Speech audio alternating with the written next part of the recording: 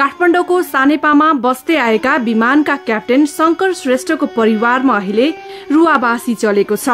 नेपाल वायु सेवा निगमको अन्तर्राष्ट्रिय एयर होस्टेस रहेकी प्रिया लक्ष्मी श्रेष्ठसँग प्रेम विवाह गरेका शंकरका दुई छोरा छन्।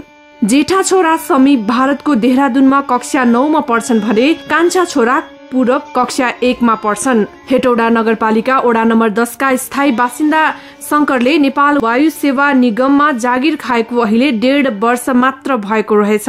हवाई उडानमा बीस वर्ष बिताइसकेका पचास वर्षीय शंकर यसअघि अन्य विमान कम्पनीहरूमा संलग्न थिए। सात वर्ष अमेरिकामा एयरलाइन सम्बन्धी तालिम लिएका उनले अन्तर्राष्ट्रिय स्तरको विमान उडाउने सपना थियो। तर पोखराबाट जुम्लाका लागि उडेका शंकरको सपना विमान दुर्घटनासँगै चकनाचुर भएको छ। उनको परिवार अहिले शोकमा डुबेको छ। विमानका को पाइलट रविन्द्र बन्जरा पढाइमा सधैँ पहिलो हुने गर्थे। पनौती तीन निवासी बन्जराले मलेसियाबाट तालिम लिएका थिए। काठमाडौँमा डेरामा बस्दै आएका रविन्द्र केही दिन अघि मात्र घर पनौती गएका थिए। त्यो नै उनको परिवारसँग अन्तिम भेट भएको थियो। उनको परिवारलाई अहिले वियोगको समाचार पत्याइ नसक्नु भएको छ।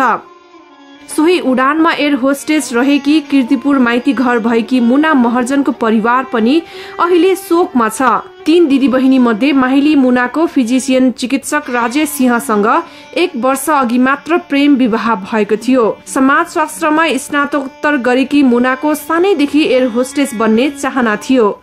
मुनाको चाहिँ अब पहिलेदेखिको उसको चाहिँ बच्चादेखिको हबी चाहिँ यो होस्टेज थियो त्यस कारण चाहिँ के छ भन्दाखेरि बिचमा विभिन्न प्रोफेसनहरू अप्नाउँदा पनि उसले अन्त्यमा चाहिँ अहिले चाहिँ यो होस्टेज चाहिँ उसको चाहिँ हबी थियो। ग्वारको घर भएका राजेशसँग मुनाले कमै मात्र समय बिताउन पाइन्। अठाइस वर्षीय मुना मिलनसार र इमान्दार थिइन्। ऊ चाहिँ ज्यादै फ्रेङ्क र सबैसँग चाहिँ घुलमिल गर्न सक्ने खालको चाहिँ उसको चाहिँ स्वभाव थियो। विमानमा रहेका चालक दलका यी तीन सदस्यसँगै पन्ध्र जना यात्रुको परिवार पनि अहिले शोकमा छ। नेपाली सेनाको चौबिस नम्बर बाहिनी जुम्लाका सेनानी दीपक श्रेष्ठको बुढी आमा यति बेला छोरा दीपकलाई कुर्दै बसेकी छिन्। अमिना श्रेष्ठसँग तीन वर्ष अघि प्रेम विवाह गरेका दीपककी अठार महिने छोरी छन् जसलाई यति ठूलो घटनाको छनक समेत छैन। आइतबार दिउँसोदेखि सम्पर्क विहीन भई सोमबार दिउँसो मात्र दुर्घटनाग्रस्त अवस्थामा भेटिएको नेपाल वायु सेवा निगमको यो ट्विनेटर विमान चार दशक बढी अवधिदेखि उडानमा थियो। इमेज समाचारको लागि क्यामेरा पर्सन राममान डङ्गोलको साथमा स्मृति गिरी काठमाडौँ।